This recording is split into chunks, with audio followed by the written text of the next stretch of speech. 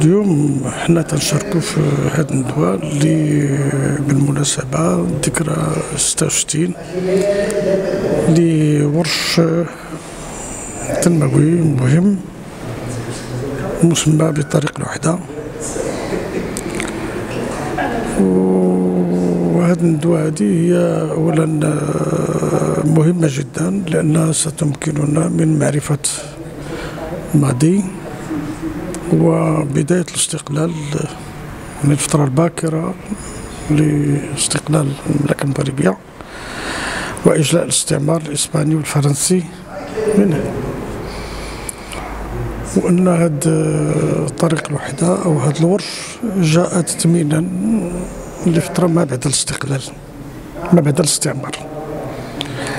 والصعوبات ديالو انه جا في واحد الفترة ديال اليقظة وديال التحرير وديال العزيمه ديال الرواد ديال الحركة الوطنية والمقاومين وأعضاء جيش التحرير بمختلف صفاتهم وتنوع إراداتهم كبيرة.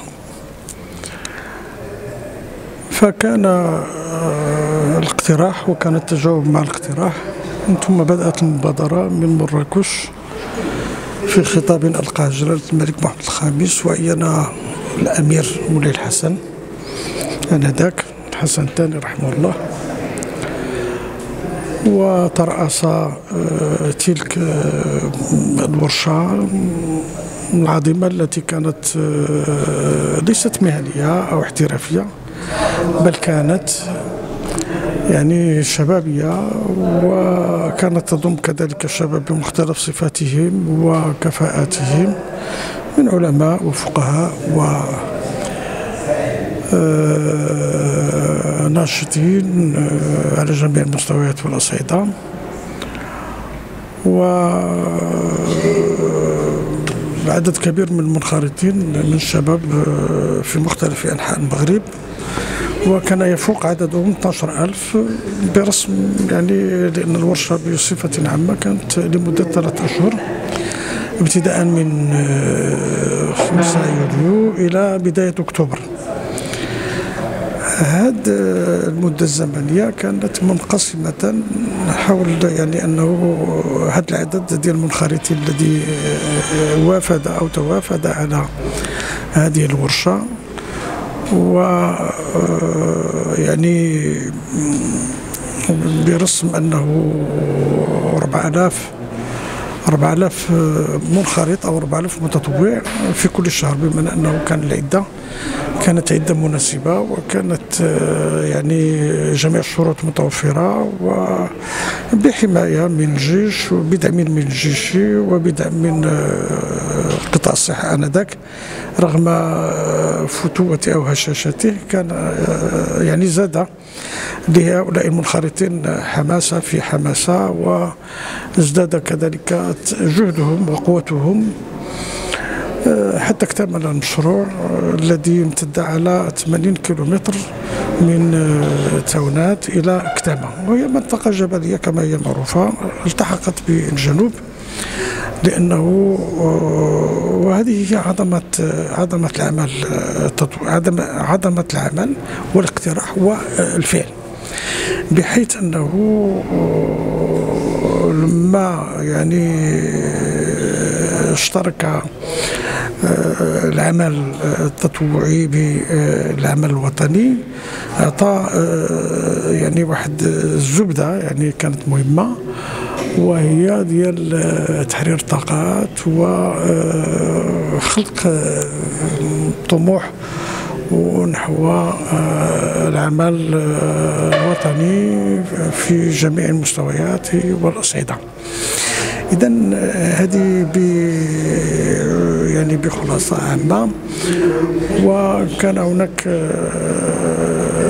يعني ساد خلال هذه المخيمات التي كان فيها هؤلاء المتطوعون يعني عده عروض ومحاضرات وأنشطة وثقافات مختلفة يعني حاضر فيها وساهم فيها. جلة من تلة من آه، العلماء والمفكرين والذين كانوا يعرفون العمل التطوعي سواء النضال الذي كان قبل الاستقلال أو الذي تبنته الحركة الوطنية بعد الاستقلال وصار عليه صاروا عليه. إذا هذا الحدث هو حدث تاريخي له رمزية حضارية وتاريخية مهمة جدا والتاريخ لا يمكن أن يتغير يبقى هو واحد ويبقى هو كما هو وما علينا إلا أن نتغير. نحن من أجل بناء بلادنا والمزيد من البحث في هذا الحدث لأنه حدث مهم جدا ويستحق منا أولا اتخاذ العظة والعبرة. ومعرفة الحدث جيدا والجهود التي تقدمت أو قدمت في آه، تلك الفترة لنبذ الخلافات ونبذ الصراعات والعمل آه، نحو آه، المستقبل. وهذا ما سيؤكده لنا جلالة الملك الحسن الثاني رحمه الله لما اعتلى العرش سنة 61 قال بأنه بأن محمد الخامس رحمه الله لم يترك آه، البلد آه، يعني كما كان في عهد الاستعمار بل آه، بنى فيه وأسهم فيه وأطلق فيه معركة أخرى وهي معركة الجهاد الأكبر. إذا هناك تناغم كذلك بين جلالة الملك محمد الخامس وجلالة الملك الحسن الثاني رحمهم الله. آه، لأنه جلالة الملك حينما ترأس هذه الورشة وهذا الحدث الذي سمي بطريق الوحدة آه، أهم ما ساهم فيه وهو آه، تكوين جلالة الملك الحسن الثاني لأنه كونه ورباه والده على مثل هذه آه، الأنشطة. لأنها لا تخلو من المحن ولكن كانت محك لأنه حتى للتلاقي مع الجماهير ومع المخالطين والمتطوعين من مختلف أنحاء المغرب. وزادهم كذلك حماسا وجوده وعمله و تفانيه في خدمة الصالح العام ومن خلالها هذه الطريق الوحدة التي جمعت